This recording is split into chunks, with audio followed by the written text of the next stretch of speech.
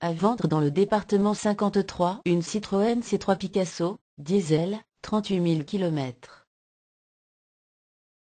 Millésime 2010. Le prix du véhicule est indiqué sur 321auto.com. Les coordonnées du vendeur figurent dans le détail de l'annonce.